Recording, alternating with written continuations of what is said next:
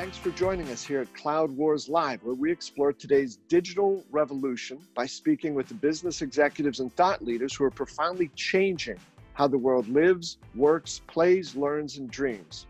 Our guest today is Wayne Sadin, who's been a CIO, a CDO, a CTO, and is now advising CEOs and boards of directors on how best to move into this exciting new world of digital life, digital business, and the digital revolution. Wayne, welcome. Thanks for coming back and uh, seeing us here at Cloud Wars Live. Thank you, Bob. I appreciate being invited back after the first installment.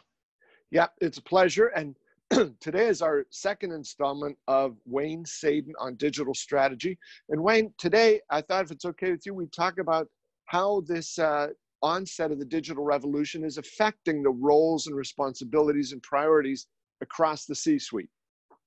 I think that's a very important topic, Bob. So I'm really glad you're asking about that.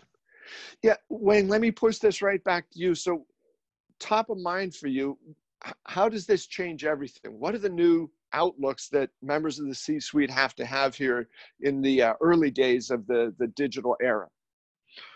Well, let's start at the top. Uh, let's start with the board of directors, if you don't mind.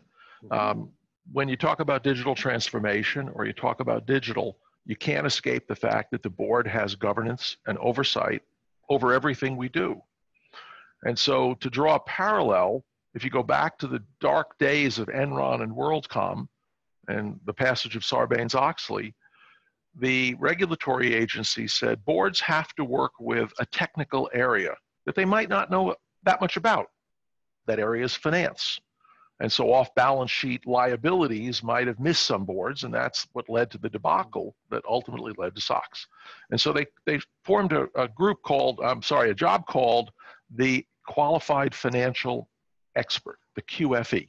And so QFEs had to be part of a board to help them with an arcane but vital technical specialty. Now let's fast forward. Here we are in 2019. So you're on a board digital is moving from the back room to center stage, and it's vital. And so, props to Russ Reynolds, Russell Reynolds, for coming up with the notion that we need a qualified technology expert. So, if you start at the top, a board should have somebody that understands what the heck we're talking about when we talk about technology risks and even more important opportunities. So, if we lay the groundwork there, tone at the top, now we can work down to the C suite. Wayne, that's an interesting perspective. And I know in our last installment of Wayne Sadin on digital strategy, we talked a lot about the role of the CEO, but those dynamics across the CMO, the CFO, the CIO, the CHRO, Chief Digital Officer, and so on, Chief Revenue Officer, they're, they're really changing. Let me start with the CFO. What would your primary advice be to the CFO here in this rapidly changing world? Well, the first piece of advice I want to give to CFOs may be controversial. IT should not report to you as a CFO. Let's talk about that for a minute. My first boss when I became a CIO was a CFO. He's actually the person that promoted me into that job 20 some odd years ago. And he was a terrific mentor and taught me things that I still use in business today. However, the CFO sees everything through a lens, the lens called financial, financial flows, financial statements, financial reporting. And a lens does two things it magnifies and it distorts. So when you're reporting to somebody that sees things through a lens, first of all, we magnify the things that matter to them. So from the CFO's perspective, the vital financial flows are what we should be optimizing. And it distorts because it sees everything in the company, the broad company, as part of the financial flow. I once worked for a company that described itself as an accounting company that happened to be in the energy business. And unless you're in the accounting business, that's not the business we're in. We're in the business of making something and selling something and servicing customers. So, for all of my love and respect for the CFO, I think that's the wrong place, although quite traditional, for a CIO to report. Yeah. Wayne, you know, uh, as you were describing that, I, I thought, you know, there's lots of good intentions there, uh, sincere focus and effort and uh, outlook there, but ultimately the the old cliche, right? When all you have is a hammer, everything looks like a nail, mm-hmm. and mm-hmm. uh, you know that's that's not what companies need right now. So how about the CHRO, right? We hear so much today about the battle for talent and the, the, the rush to bring great world class development talent into a company. How's the CHRO position changing? Well, it's changing because social media and the immediacy and a widespread nature of information means everything that used to be secret about your company culture and things people liked and disliked might have been held pretty close and people found out about it after they were hired. Today, it's all over Glassdoor or it's all over the front page of the Wall Street Journal. And so, as a CHRO, you are really working with the CMO, who obviously has that responsibility for the messaging to customers and prospects. You've got to treat the talent pool out there in the world as a customer base. And so I suggest that the CHRO, CMO, and CIO need to be a triad linked to be interesting and engaging and then recruiting the talent you want. And, and then one more thing for the CHRO, or I'm going to say this to the board members. If you join a board, go on their online portal and apply for a job. Now, as board members, we're probably not qualified for most jobs customer companies have, but look at the process. As a CIO, I cringe at the processes we inflict on people, not just IT candidates, but everybody in most companies. The process is hidebound, the process is slow, the process may be unfriendly. So, how do we, as IT people, go to the CHRO and say, we can help? We can help with a better experience for the newer folks that aren't with us yet. And also, try the one day employee experience. Again, board member, ask to be set up as a brand new employee in accounting or in human resources or something. See what they provision, see what winds up on your desk. Because the usual experience of the new employee is, oh, yeah, we don't have a password for you yet. They didn't get the computer. We don't know how to get you a badge. Wait a minute, I'm not sure where you park. It's terrible to say it, but that one day experience, that initial customer contact stinks at so many companies. And with technology that we enable as CIOs, we can build a better day one experience for new hires. Wayne, that you know that's an excellent point, and I think especially as we think about today, right? Uh, inside companies, we have recruiters, but I think in fact the reality is the top talent is the one on the hunt, and th- those people are choosing who am I going to go work for today. And so these impressions that you talk about, day one impressions, are vital and you also talked about the triad there CHRO, CMO, CIO. If we set the CHRO off to the side for a minute, there's been a lot of nonsense, I think, over the last few years about, you know, the head to head bud and the CMO has a bigger budget now for spending and the CMO is going to dominate the CIO. I, I think that's just silly. But anyway, how do the CIO and CMO, or just the CMO primarily, how do they move forward into this, you know, heavily digital world? Well, let's start with that widely held assumption that the CMO and the CIO are in a battle for dominance over IT. First of all, when you look at IT spend as it's looked at to create this report, they threw digital advertising, digital marketing into that mix. Mm-hmm. So that's really not IT. If I spend my ad dollars with a network TV or put a billboard up or spend it at Google or Facebook, that's still marketing, not IT mm-hmm. spend. Just because it has a computer attached to it does not make it IT. And it's something I say to people all the time. Now, I've met a lot of CMOs who wind up with some IT function. A lot of CMOs wind up with this little tiny IT department or sometimes great big IT department.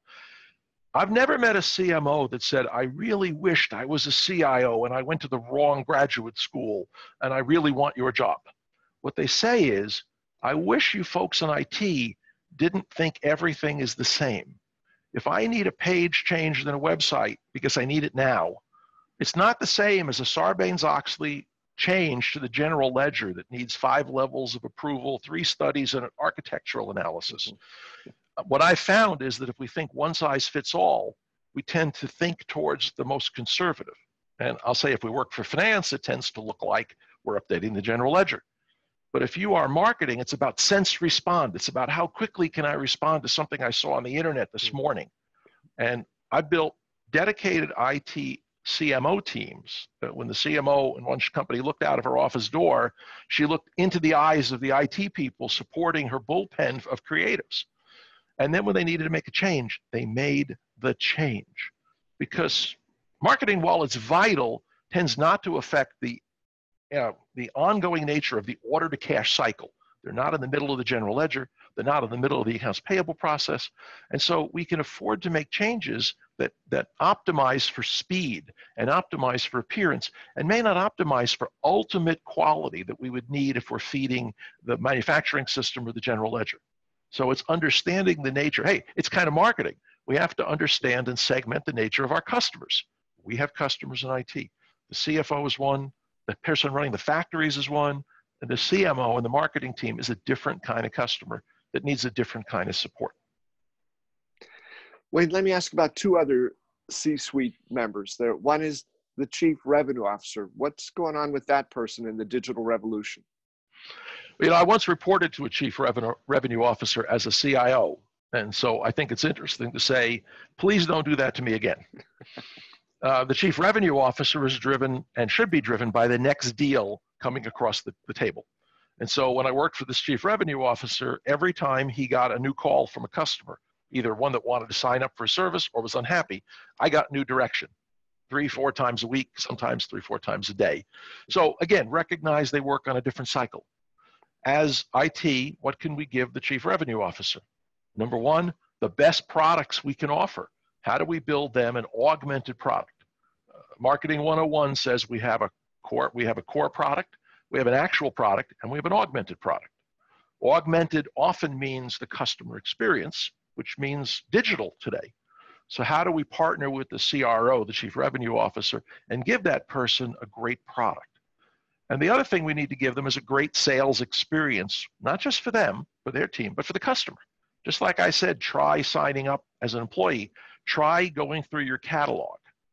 Uh, I once tried to buy a dishwasher and I went on a manufacturer's site and the, it asked me if I wanted the Monarch line, the Regal line, the Centurion line of dishwashers. While that probably made sense to the people in the company, I had no clue. It didn't say expensive, midline, cheap, or blue, red, and yellow. I poked around and then you know what I did? I went somewhere else. So let's give them the digital tools to enable those salespeople to deliver a message. So that's kind of marketing, kind of sales. But we need to partner up, partner up for a better augmented product and a better buying experience. Yeah. Wayne, how about the chief operating officer? Well, if chief operating officer means the person responsible for making whatever we sell, because that COO means a lot of things. So maybe chief operations officer, but the person who runs the factories, and I came out of financial services. We called it a manufacturing operation. We manufactured loans or accounts or whatever. So it's the same business. And here's a little tip for chief operations officers. When you used to go to marketing and say, I want to do a focus group, I want to get 10 people in a room three times, four times a year, and I want to ask them what they think. Consider now that with Internet of Things or industrial internet, we're instrumenting the products. So instead of asking a focus group, occasionally, what do you think? Let's ask every single product we ship to the customer, how is it being used? They never go to that screen. When they do that, the drill overheats. It's if it's a digitally enabled drill. So to go back to what you asked me a minute ago, we need to build the right augmented product, which is CMO, CRO, CIO. Then we need to build the data collection, which is CMO, COO, Chief Operations Officer, and CIO.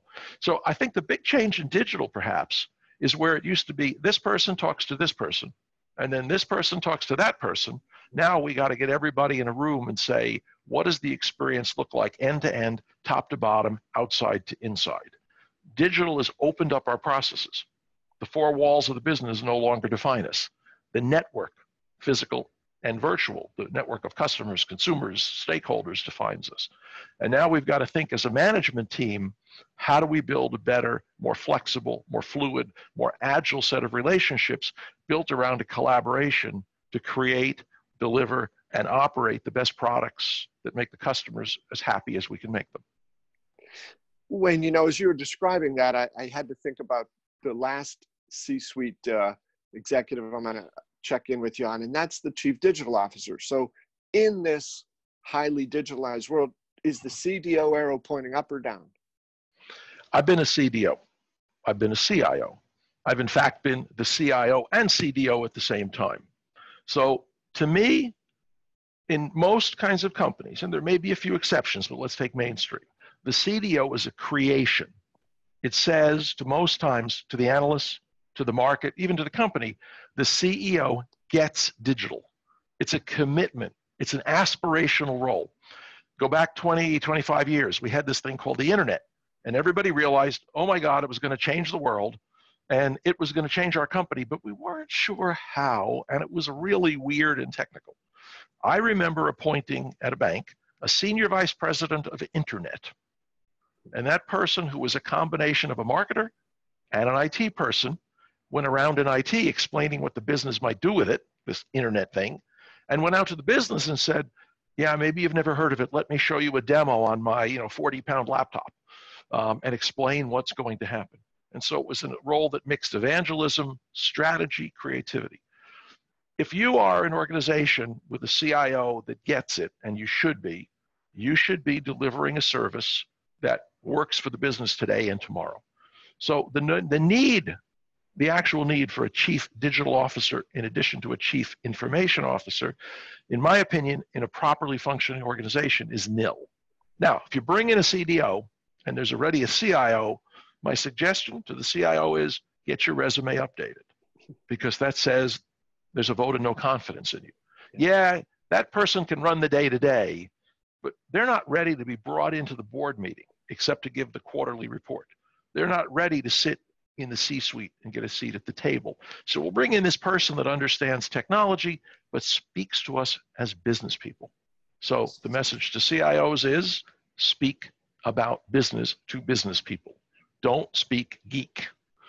Or you'll wind up as one of those marginalized CIOs that a CDO replaces. Now, you may need it for evangelism, you may need it for something. So perhaps the CIO would create a function called Chief Information Officer for Internet of Things or for digital transformation or create a transformation office.